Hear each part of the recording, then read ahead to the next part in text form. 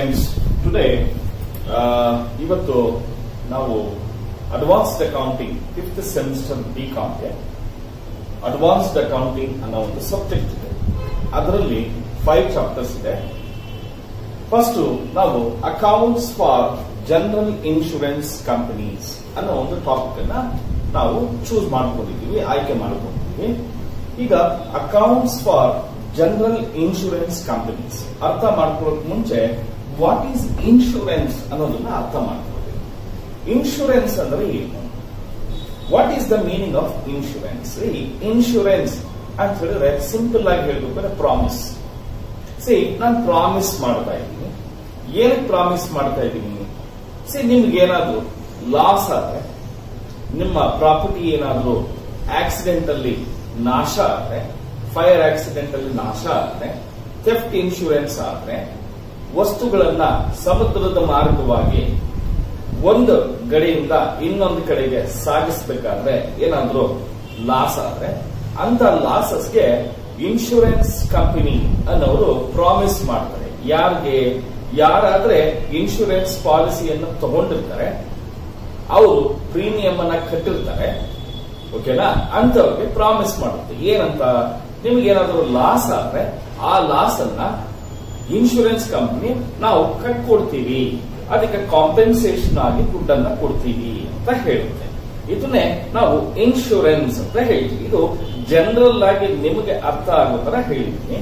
ಆದ್ರೆ meaning of insurance ಅಂತ ಹೇಳಿ ನಮಗೆ ಅರ್ಥ ಮಾಡ್ಕೊಳ್ಬೇಕಾದ್ರೆ it is an contract or an agreement ಅಂತ ಹೇಳ್ತೀವಿ. It is a contract or an agreement between two parties between two parties undertakes in consideration of undertaken in consideration of a certain premium to indemnify other against certain amount of losses arising from the destruction of property by fire or accident or loss due to death of an individual ಅಂತ ಹೇಳ್ತೀವಿ ಅಂದ್ರೆ ಇದು agreement between two parties ಅಥವಾ contract between two parties ಇಲ್ಲಿ ಏನ್ ಮಾಡ್ತಾರೆ ಅಂತ ಹೇಳಿದ್ರೆ, ಒಬ್ಬ ಪಾರ್ಟಿ ಏನ್ ಮಾಡ್ತಾನೆ?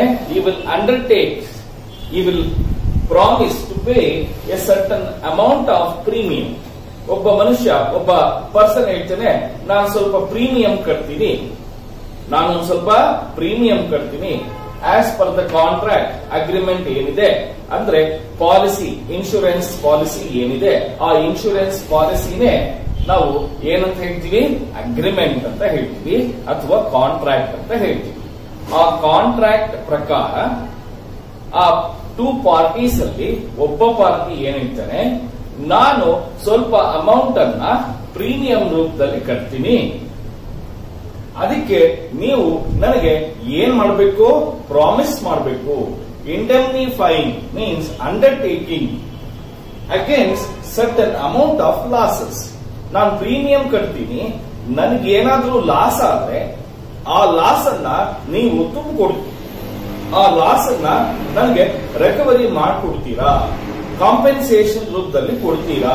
ಇಂಡೆಮ್ನಿಫೈಯಿಂಗ್ ಅಂತ ಹೇಳಿದ್ರೇನೋ undertaking the losses against the other persons losses ಅಂತ ಹೇಳಿ.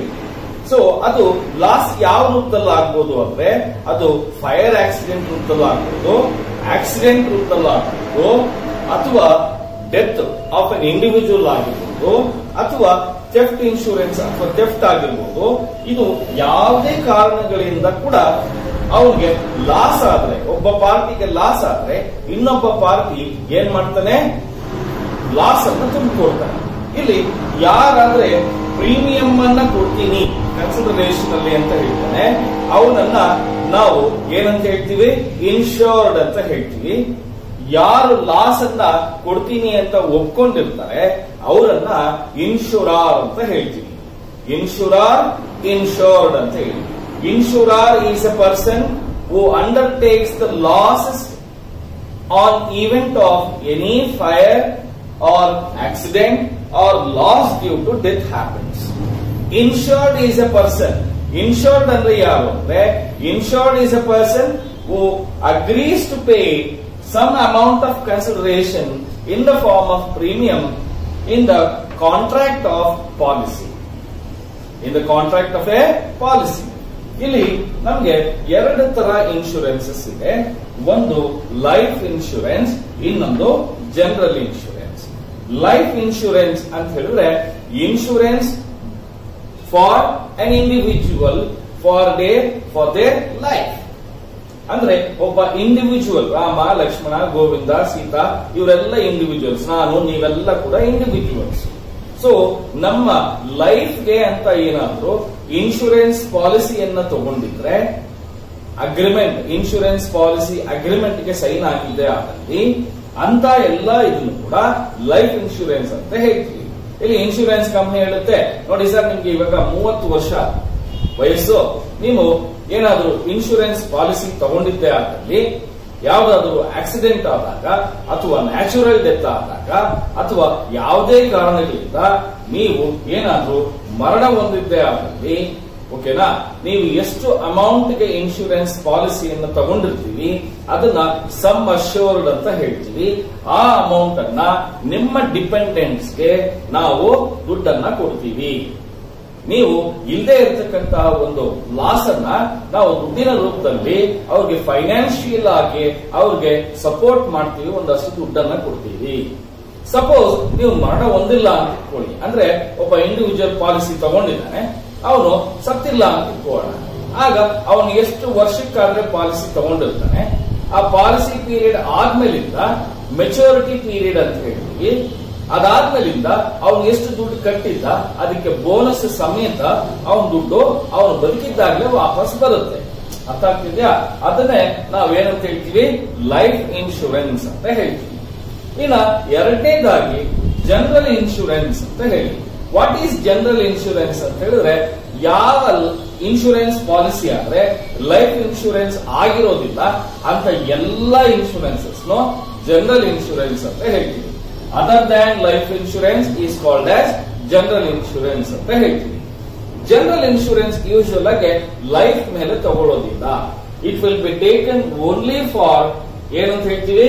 To make good the loss suffered by other party or the happening of an unforeseen events like fire marine burglary, losses etc. ಅಂತ ಹೇಳ್ತೀವಿ ಅಂದ್ರೆ ನಿಮ್ಮ business ನಲ್ಲಿರ್ತಕ್ಕಂಥ properties ಆಗಿರ್ಬೋದು ಅಥವಾ ನಿಮ್ಮ house properties ಆಗಿರ್ಬೋದು ಅಥವಾ ಬಿಸ್ನೆಸ್ನಲ್ಲಿ ಇಟ್ಟಿರ್ತಕ್ಕಂಥ ಗೂಡ್ಸ್ ಆಗಿರಬಹುದು ಇಂತಹದ್ರ ಮೇಲೆ ತಗೊಳ್ತಕ್ಕಂಥ ಇನ್ಶೂರೆನ್ಸ್ ಅನ್ನ ನಾವು ಜನರಲ್ ಇನ್ಶೂರೆನ್ಸ್ ಅಂತ ಹೇಳ್ತೀವಿ ಓಕೆನಾ? ಇದು theoretical part for insurance and general insurance ಬಗ್ಗೆ ಹೇಳುತ್ತೆ. ಈಗ ನಾವು ನೆಕ್ಸ್ಟ್ ಅಕೌಂಟ್ಸ್ನ ಯಾವ ರೀತಿ ಮಾಡೋದು? What are the different accounting procedures for general insurance companies ಬಗ್ಗೆ ಅರ್ಥ ಮಾಡ್ಕೊಳ್ಳೋಣ. ಓಕೆನಾ?